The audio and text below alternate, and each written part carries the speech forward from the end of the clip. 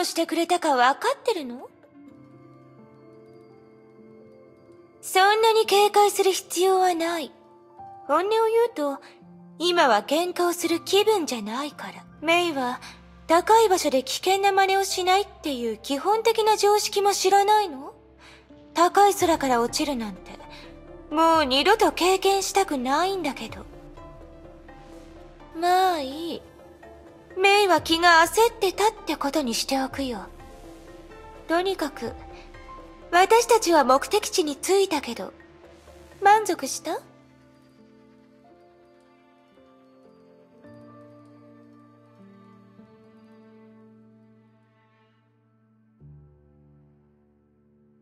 その通り。同時にあらゆる疑問にケリをつけられる場所でもあるって、あなたは考えてる。そうでしょ？でも残念ながら、見ての通りここには何もない。とっくに私の所有物になってるから、確信できる。メイの探してた答えは、最初から存在しないって。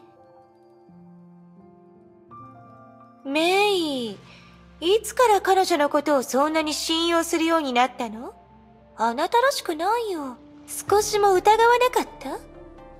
あの日彼女が明かした真相も、本当は全部じゃないかもしれないよ。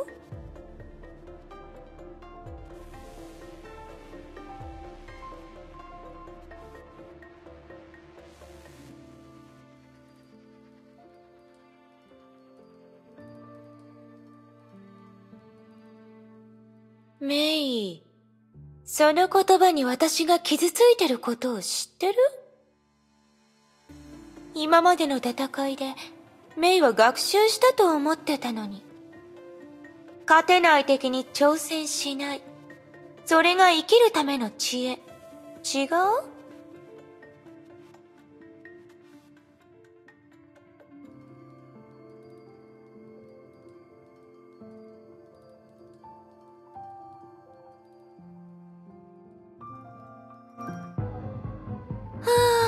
あわかった。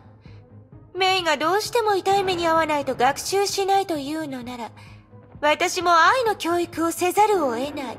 あらかじめ言っておくけど、今度は手加減しないよ。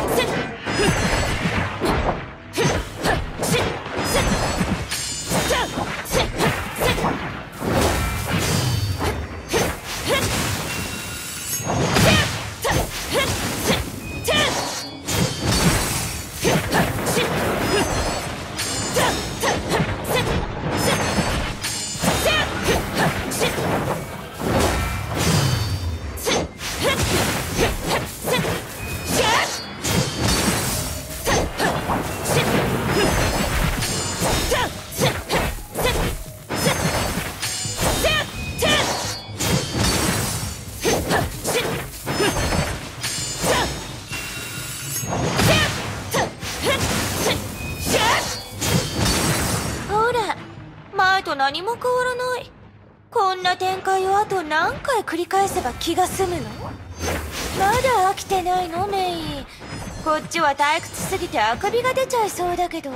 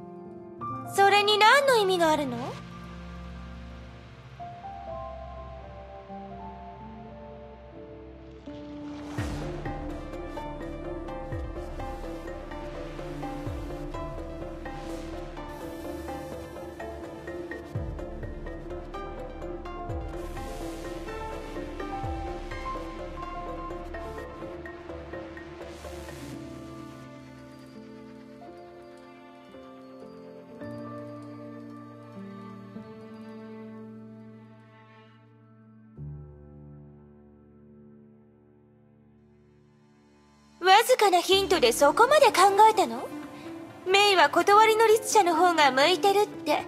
みんながそう言ってたのもうなずけるよ。楽園の空間にダメージを与え続ければ私の力を削ることができる。うん？一人だけで車係？面白い考えだ。でも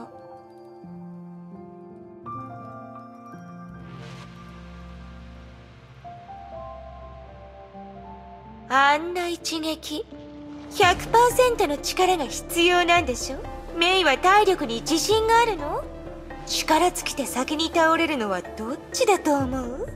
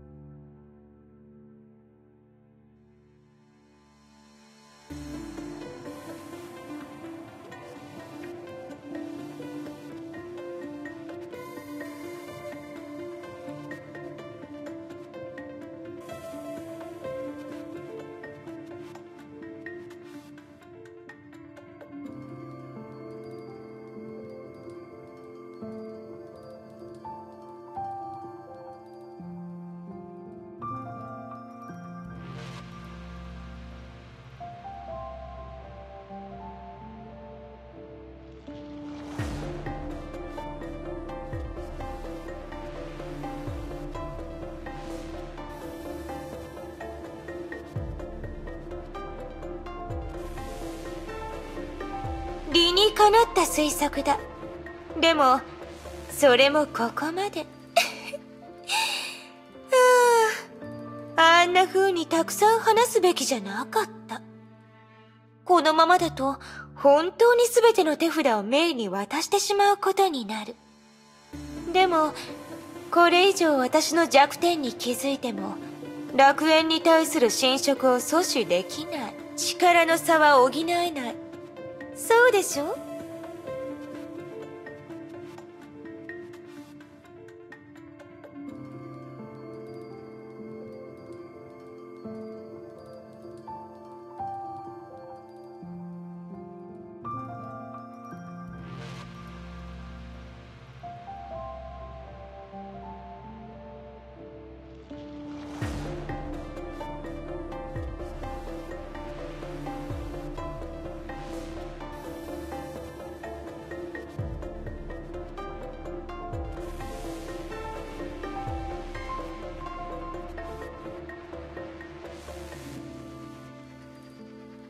幸いにもまだ遅くないようじゃ今からやり直そうぞ。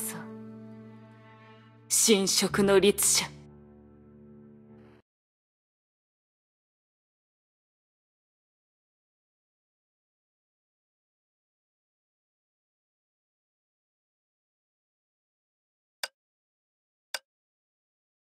それならさくら昔のように私を信じてくれる？私のお願いだとでも思ってそれをするのはやめてくれない？どうしたのじゃエリシア。わらわに話したいことがあるようじゃが。少し心配なの。楽園ではもう錠剤七来を使うことなんてないでしょ？裏切り者なんてここにはいないわ。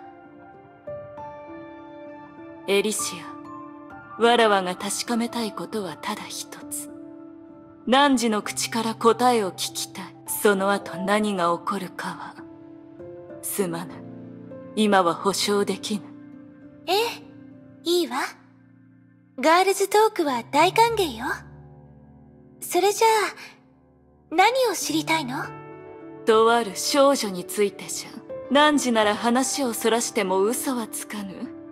それにこんな状況でこのままわらわに沈黙を貫くことが果たして公平なのかどうかを考えてくれるのも汝だけじゃ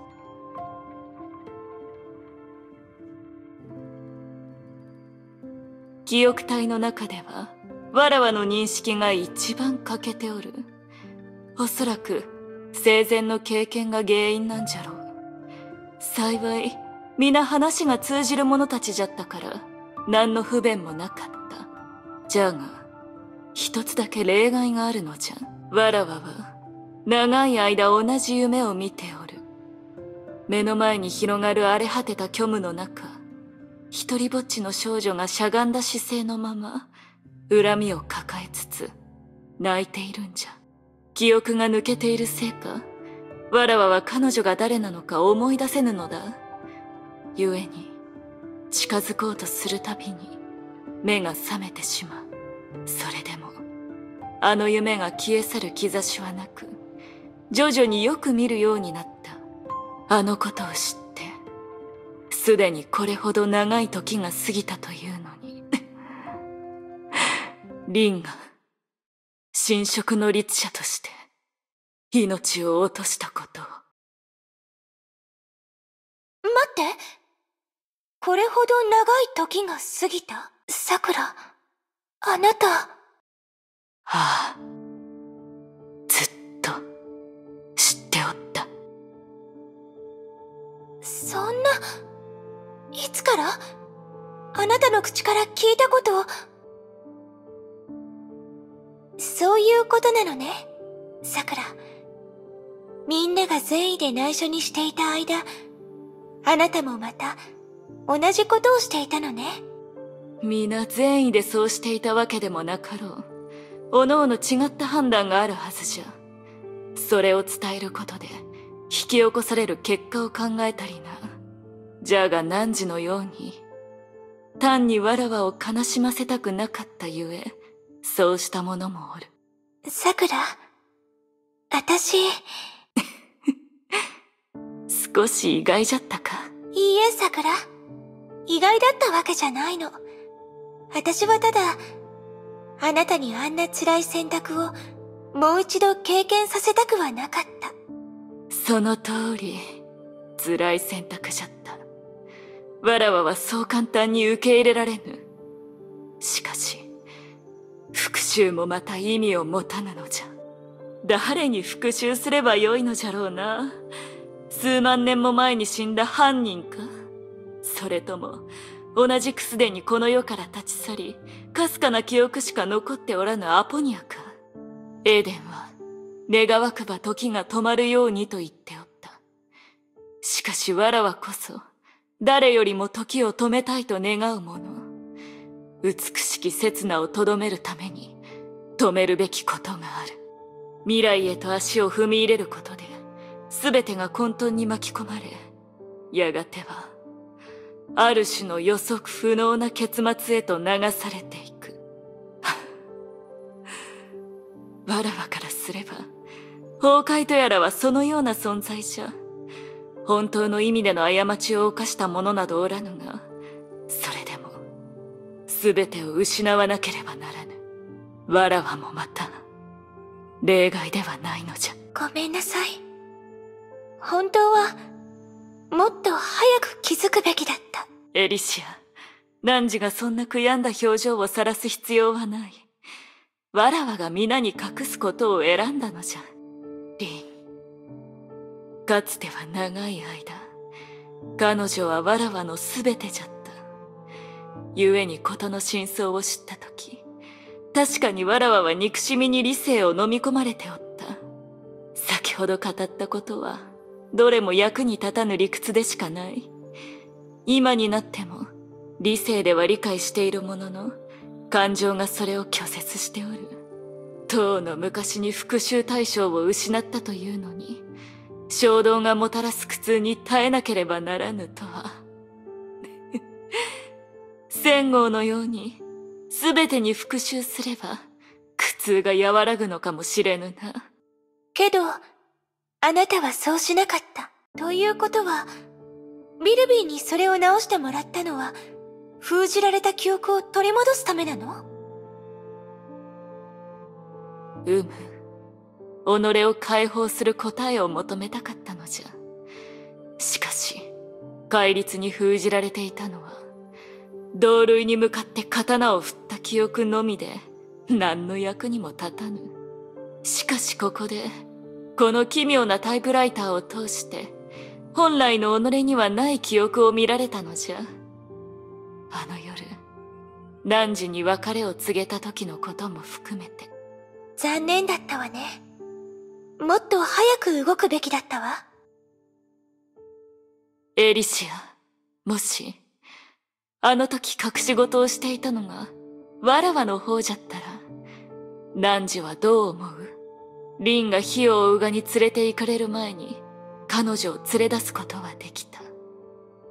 しかし、リンに断られたのじゃ。え？どうして？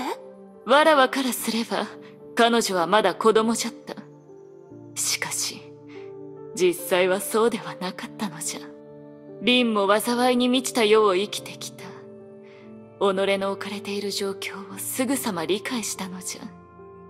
何より、火を追うがよりも不安定な自分を気にかけておった。リンは怖くて仕方がなくても、彼らが筋の通らぬような行動を取らぬと信じた。自ら連れて行かれることを選択し、リスクを最小限に抑えたのじゃ。それと、メイ博士は正しい判断をするとも信じておった。崩壊という情の通じぬ存在があったとしても、責任感と慈しみの心をもってすれば、人類は必ず自分をコントロールできると。すごい子ね。その時、あなたは納得したの？ああ。だからこそ、あの別れとその後の出来事があったのじゃ。その記憶を取り戻した瞬間、わらわは悟った。夢に現れる少女は他でもない、わらわなのじゃと。心の中に鳴り響く苦痛と憎しみは、リンがそこに残したものだとわらわは勘違いしておった。リンをずっと守っていたと勘違いしていたのと同じようにな。彼女の本心に背き救おうとした時点で、この関係はすでに逆転しておる。本当は、彼女がわらわを守っておったのじゃ。相手から離れられなかったのは、わらわの方。だからこそ、わらわは復讐に身を委ねるわけにはいかぬのじゃわらわのような融合戦士が理性を失い自身を制御できなくなれば律者と似たような存在になる結末しか残らぬそうなれば凛が頑張って証明したことを踏みにじってしまう。彼女をもう一度がっかりさせるわけにはいかぬのじゃ。お姉ちゃんじゃからちゃんとお手本を見せんとな。さくらあなた辛い思いをしてきたのね。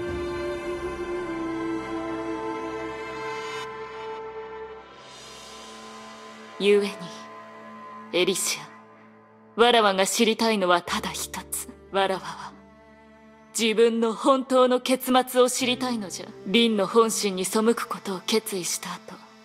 わらわは最後にもう一度正しい選択肢を選べたのじゃろうか。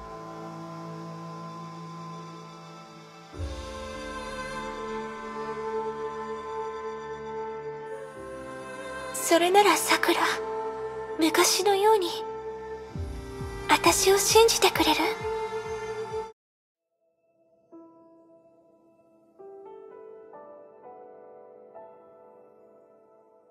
あなたたちは最善を尽くしたわ。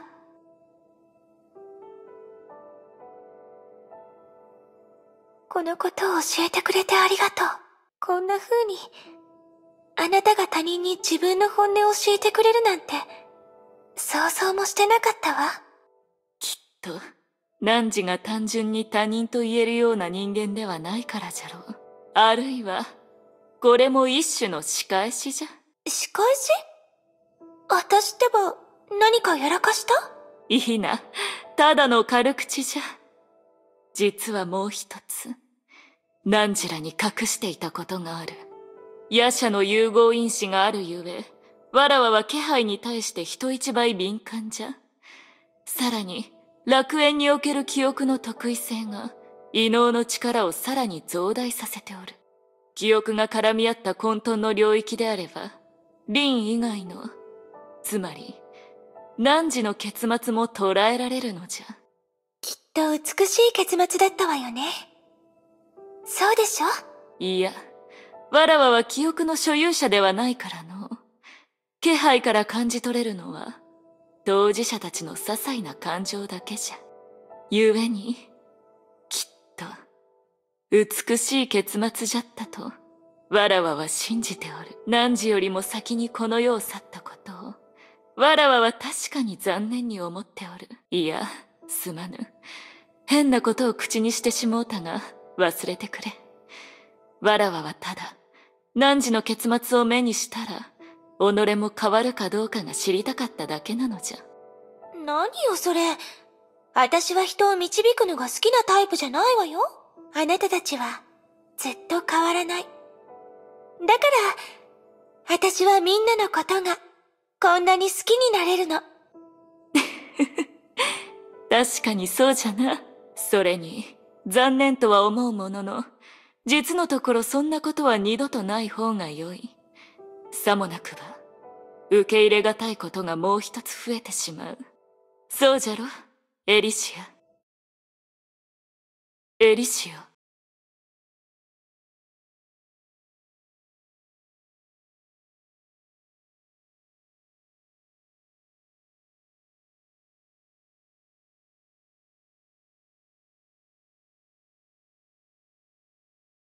待て。これは。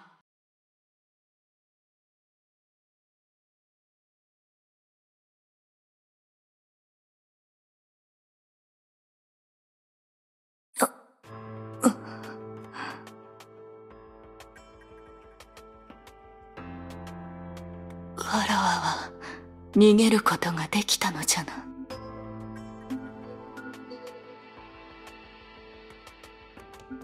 あの後何が起こったのじゃ？仙号にメッセージは届いたのじゃろうか？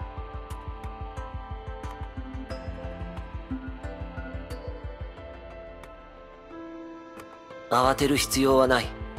さくら僕だ。スー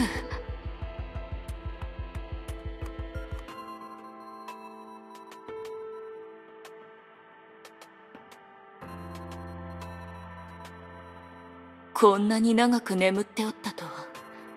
外はどうなっておる？正直厳しい。予想通りこの時代の侵食の律者が古の楽園に降臨している。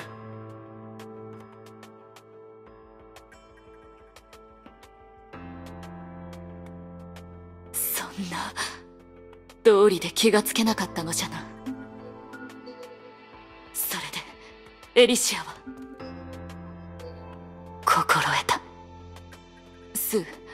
汝はどうやってわらわを見つけたんじゃ？仙号が手がかりをくれてね。君の暗号をたどって彼もここに来たんだ。しかし彼は第二の神の鍵を持っていなかったからこの凍結した空間には入れなかった。それとビルビーが残したメッセージにも君の在りかが示されていた。ビルビー？ああおそらく今頃彼女もすでにしかしとある問いを残してくれてね。楽園において絶対的に安全な場所はどこかと。君は一度データに異常が生じていたもののさらなる侵食は起こらなかった。侵食の律者が意図的に行ったとは考えにくいから答えは君にあると判断したんだ。汝の考えではここが絶対に安全な場所だと。何はともあれ実際に君が作り出したこの停滞している空間は確かに侵食を阻んでいる。じゃがそれだけじゃ汝はここを避難所として使う気なのじゃな。しかしわらわの技ではせいぜい侵食を止めるだけじゃ根絶やしにすることはできぬ。さもなくばこうなってはおらぬじゃろう。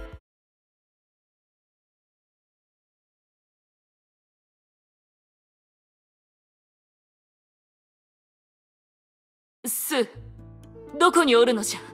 汝の姿が見えんぞ。僕はここにいるよ。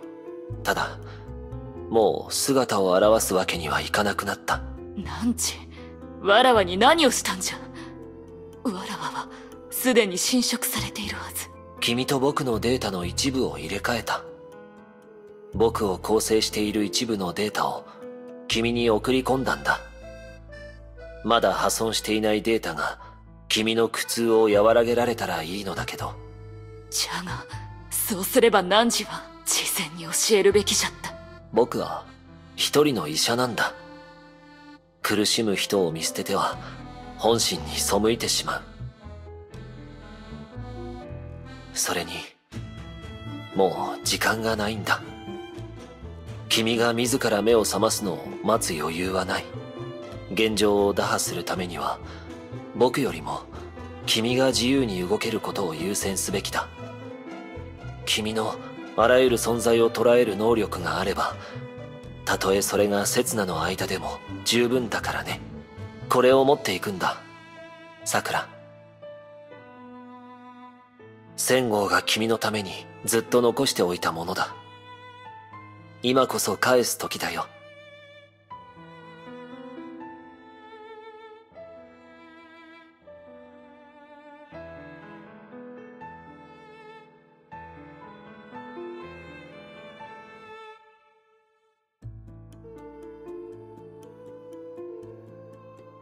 心得た。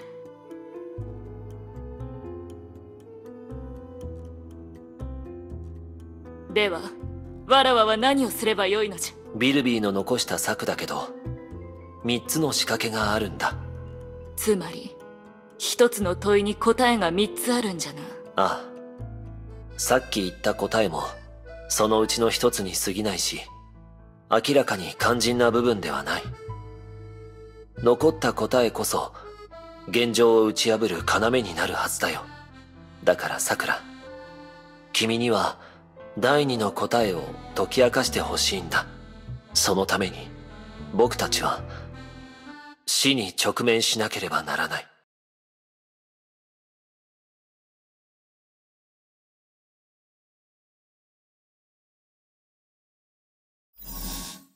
前のあれを手合わせというにはいささか無理があると思わぬか？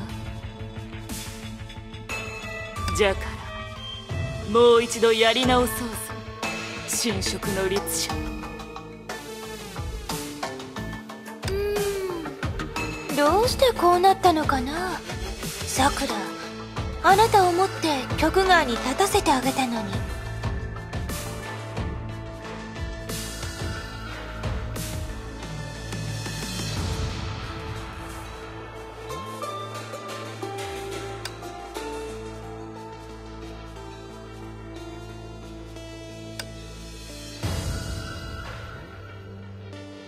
なるほど。幕引きに使われる装置じゃな。い今の状況はスーが送ってきたデータである程度把握できる。じゃが全てを理解するにはまだ時間が必要じゃ。こうなった以上彼の決断を信じるしかあるまい。何せ彼は知者の名を背負っておるから。今のところ彼女のような存在は一体しかいないのじゃ。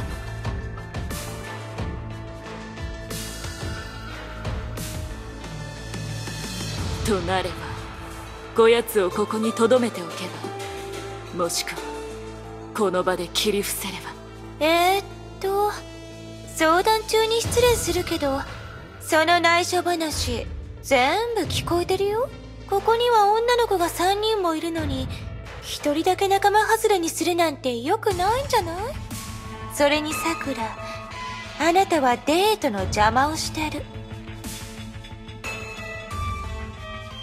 えー、意外だ。そんな経験があったなんて。ならこの後じっくり教えて。聞かれたところで問題はない。先ほどの会話は元よりこっそりする必要などないから。デートに関してはすまぬ。わらわにとっては何時もまた。特別な旧友でな。ふん。ずいぶんと素直になったのね。あの夜のあなたより今の方が好きよ。さくら？彼女の喋り方でそのようなことを口にするでない。相変わらず頑固なのね。彼女ってそんなに特別なの？代わりになれる存在はいないってそこまで信じきってるなんて。果たしちゃダメ？彼女と親しいものはわらわだけではない。それゆえ結論は出しがたい。じゃが汝にそれを証明する時間など存在せ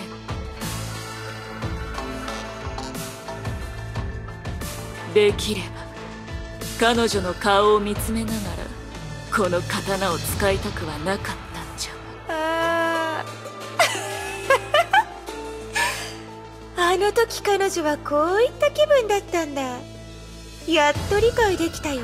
ここまで誤解されてるっていうのに。心を殺してあなたたちを傷つけることができない。すでに会ったことがあるでしょ？ならどうして未だに自分が形勢に影響を与えられると思うの？前にしくじったのは汝の不意打ちを得意とする特性を知らなかったからじゃ。すでに分かった以上。触らせないようにするのはそう難しくもない。どうやらとても面白い状況になってきたみたいだね。ねえさくら本当に考え直す気はないの？この後どうあがいても。手も足も出ない様子を想像したら少しかわいそうになる。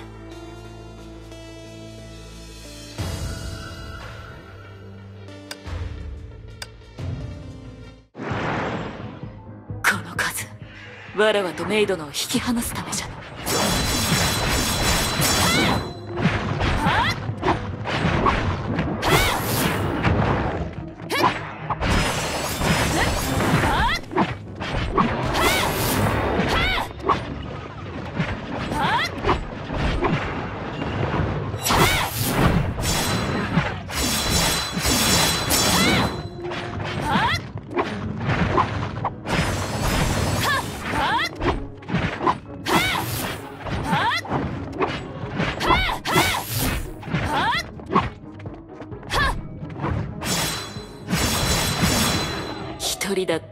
確かに厄介な状況かもしれぬ。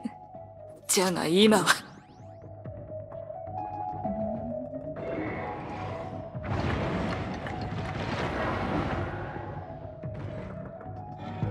どうやら心配は無用のようじゃ。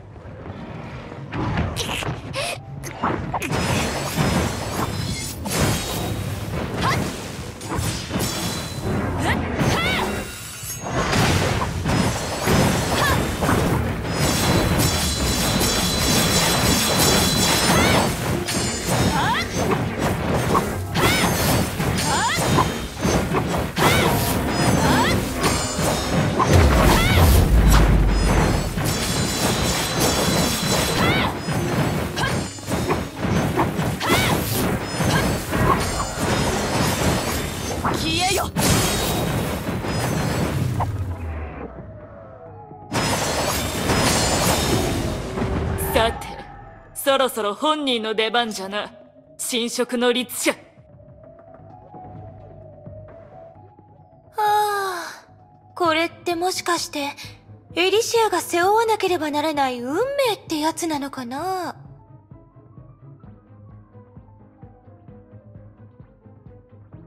ずっと誠意を持って本音を語ってきたつもりだけど、どうやら証明しないと信じてくれなさそうだ。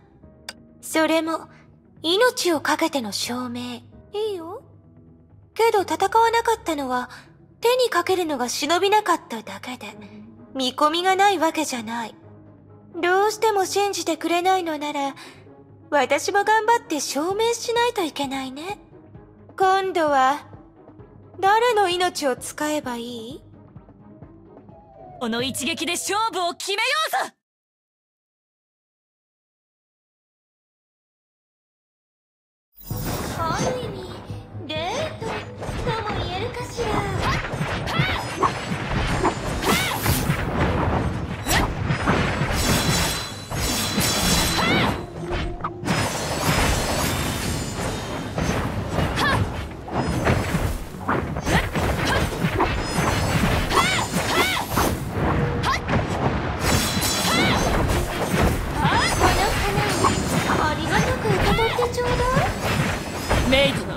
用心を怠るな。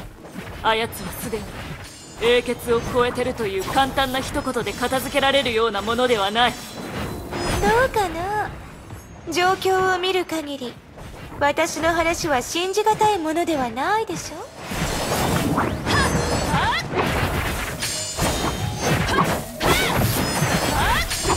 消えよ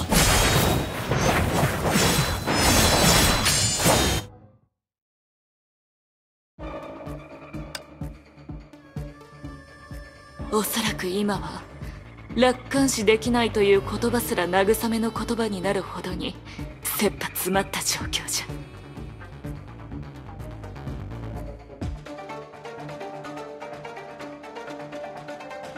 メイドの彼女の話はおそらく嘘ではない。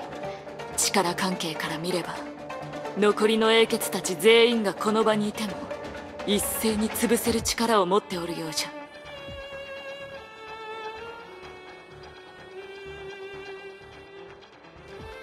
力の差がこうも開いてなければ確かにそれは可能じゃ。しかしどうやら彼女はわらわたちを止められる力を十分に備えておるように見える。メイド元からわらわは不意打ちを仕掛けるつもりじゃった。じゃがこうなった以上は正面突破するしかあるまい。以前も言った通りわらわは空間を凍結させる技を掌握しておる本質上破壊力は持っておらぬがその力を利用することで好機を作れる。どんな攻撃も確実に当てられる好機じゃ。心得ておる。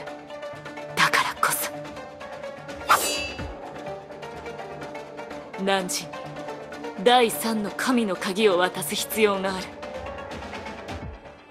汝も知っているように楽園にあるのは記憶の再現に過ぎぬ。しかし汝なら本物の律者コアを用い駆使できる可能性がある。雷の律者が採血の鍵を使って必殺の一撃を放てば敵を抹殺できるかもしれぬ。そのために共に必中のチャンスを作り出さねば。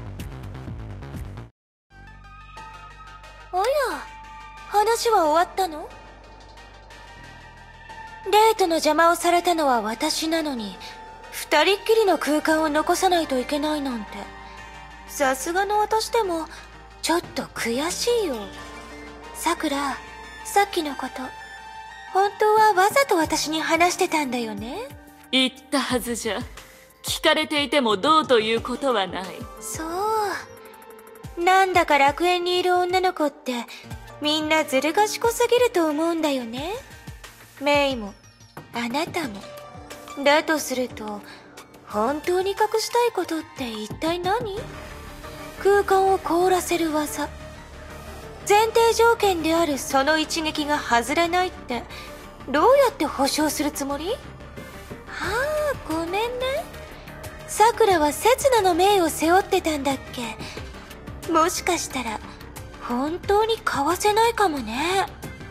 必ず当たる保証などない。じゃが試しても損はないじゃろ神の鍵。彼女たち武器を交換していない？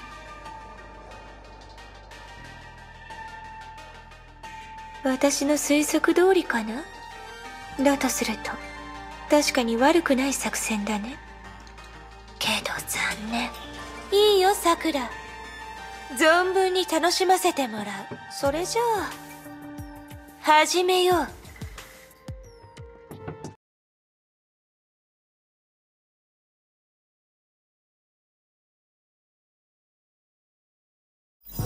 メイ殿しばらくは戦いには参加せず力を貯めて好機を待つのじゃ。まったく。大声で悪巧みするのやめてくれない？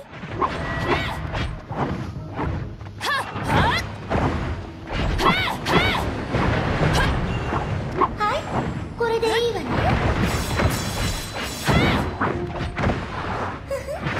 力がなくなるわよ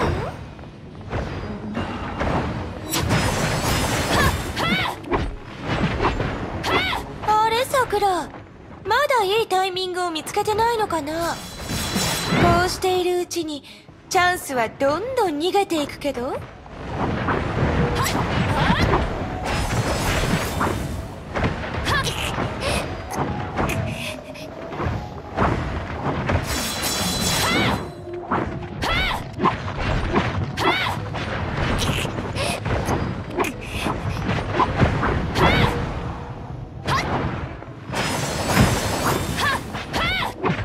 汝の弱点を見極めるなど決して容易なことではあるまい真正面から速さで勝つことが全ての要。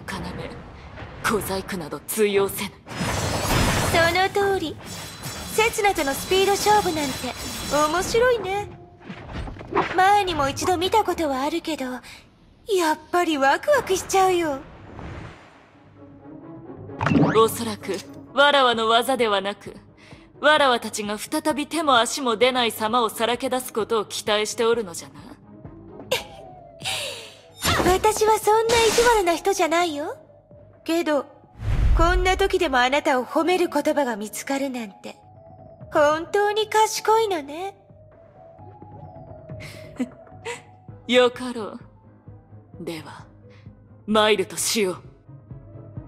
そうださくら。あなたの技って自分なりの名前をつけてないの？使い道で呼んでるだけじゃ言いづらそうだけどね。暗殺者にそのようなものは無意味じゃ。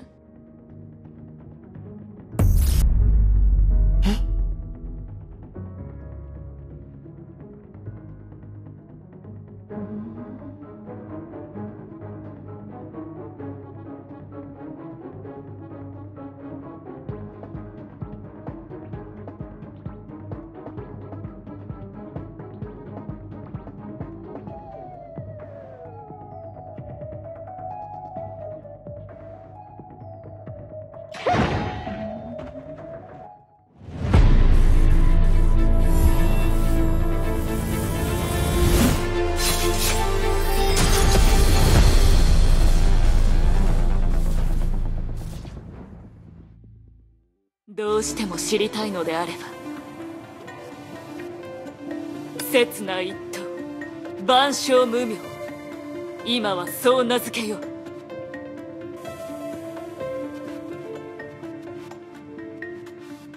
そんなあなた。まあいいや。驚くふりをするのって私には難しすぎるから。さくらあなたってば本当に最高。あなたの技でこんなことができるなんて。まずは幻影を使って位置を入れ替える。それから名誉を取りにし不意打ちを仕掛けることで相手の行動を封じる。素晴らしかった。何のコミュニケーションもなくこんな連携が取れるなんて。少し嫉妬しちゃうよ。でも残念なことに私はずっとあなたに気を配っていた。空間を凍らせる一撃さえかわせば常在七来の攻撃なんて大したことじゃないの。これで最後のチャンスもなくなったね。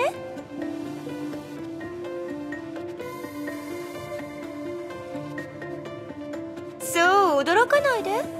さくらはスピードが速いからちょっとしたリスクを背負わないと確実に捉えることができない。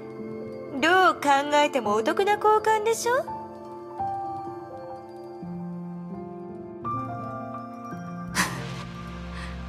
結局赤敗ってことじゃな？侵食の律者。その通り。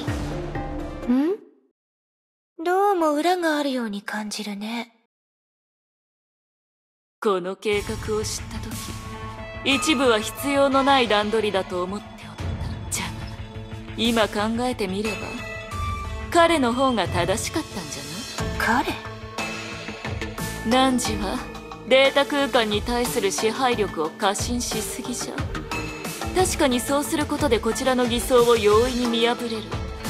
じゃが汝は一つ見落としてることがある。侵食の律者幻影を使い感覚を欺き偽装を行うなど。わらわの技ではそのようなことはできぬ。古の楽園でそんな能力を持つのは第八の神の鍵。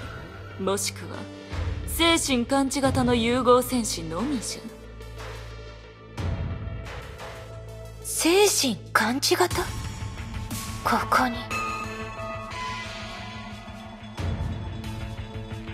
ああ侵食の律者この戦いは初めから二人がかりではなく3対1なんだ趣味消し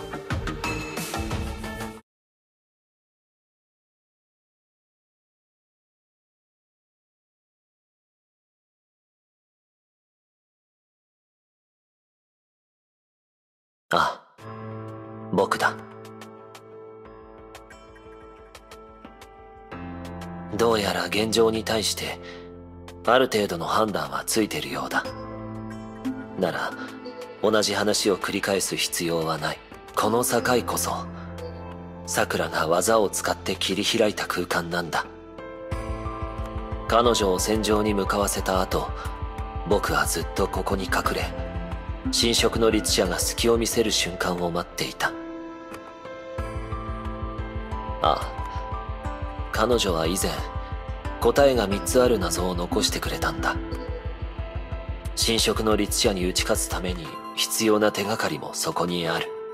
古の楽園に絶対的に安全な場所があると思う。と僕は考えたんだ。そして侵食の律者を前にしてそのような概念は存在しないと悟った。だから。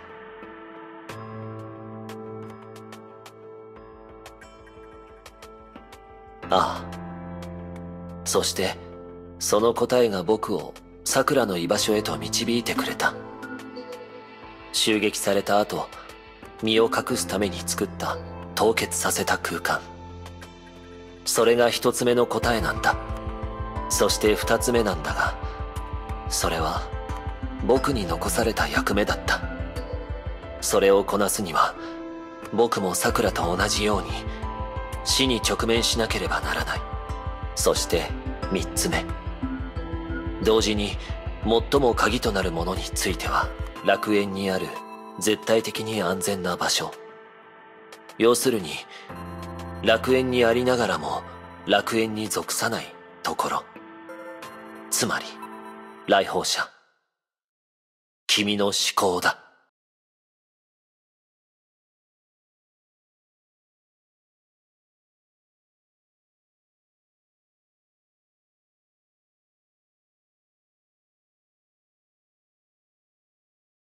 その通りだ。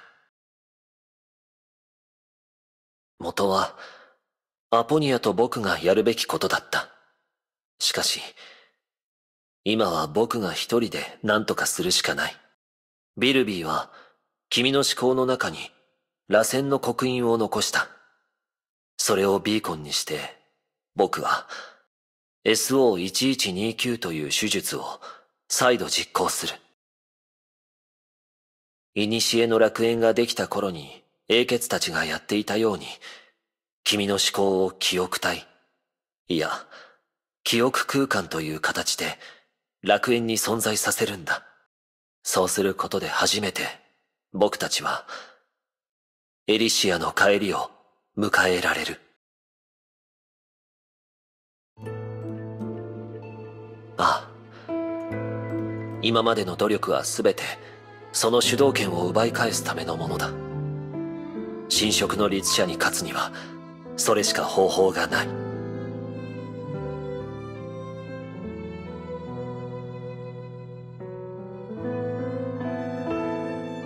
来訪者。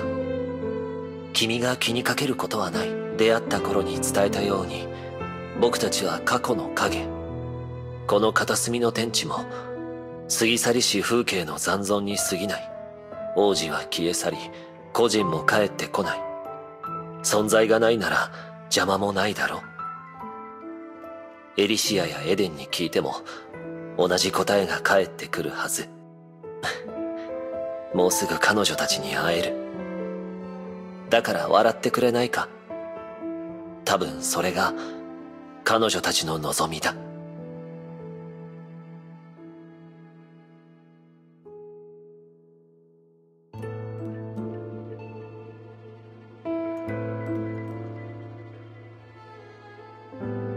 強く信じていれば彼女が立ち去ることはない。記憶体の誕生と同じさ。記憶空間が展開される時君の中にある喜怒哀楽や離合集散が世界を紡ぐ。だから思い出すんだ。彼女と過ごした時間彼女がもたらした変化を君の記憶で彼女へとつながる道を開くんだ。たとえデータが隠滅しても記憶が不滅の痕跡を残してくれる。これを持っていくんだ。残りの二つはエデンが君に渡す四つの鍵。それらでとある昔の出来事を封じている。元から君がその1ページをめくるべきだったんだ。今こそ。それを君の記憶の中でもう一度咲かせてくれ。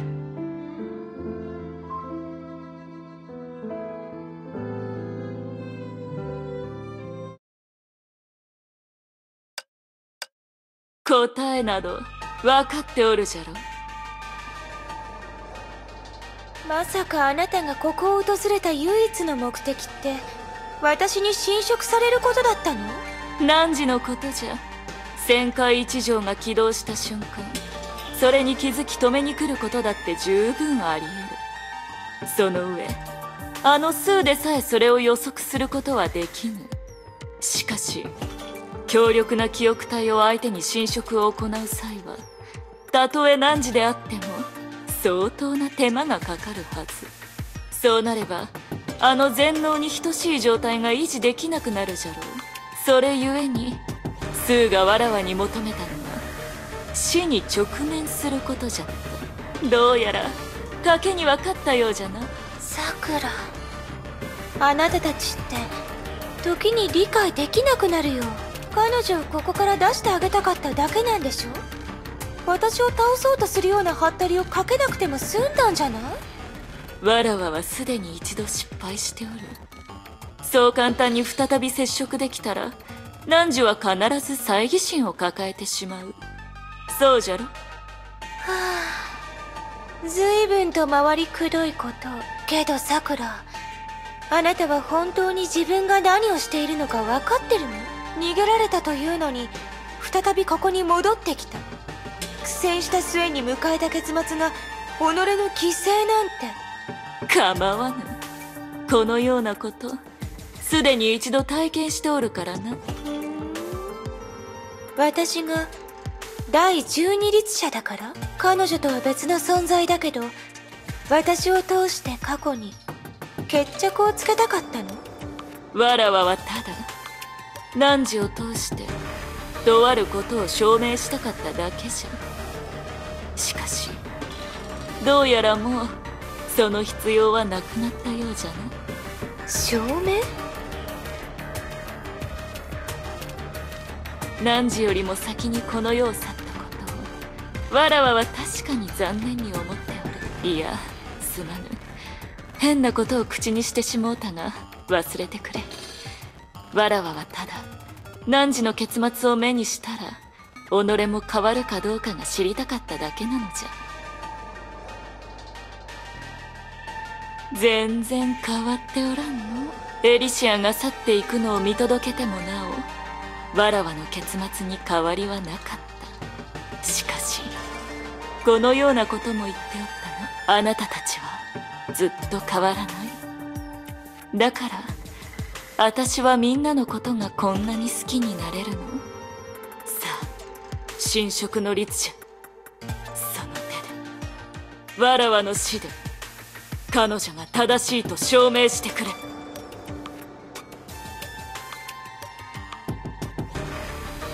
その前に一つ頼みがある。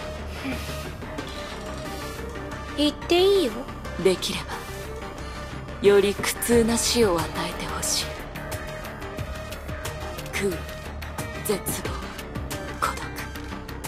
可能な限りそれらをわらわに味合わせてほしいんじゃ。そうすることで自分がどれほど食らい倒れじゃったのかを理解できる